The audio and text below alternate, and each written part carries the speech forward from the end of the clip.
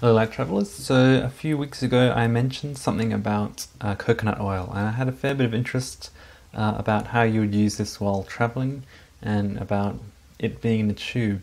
Coconut oil is quite a good all-in-one travel solution for several different types of products. Usually it's only sold in glass jars but there are a few people selling it in tubes. I'm going to put a link in the description to some of the Amazon listings available for coconut oil in a tube. Unfortunately one of the downsides to coconut oil being in a tube is that during cold weather it gets quite solid and it's it doesn't come out of the tip of the tube. So one of the solutions is to just run it under warm water for a few minutes until the oil becomes liquid again. So of some of the several different uses for coconut oil while traveling, some of the main ones that I would use it for would be like as a moisturizer.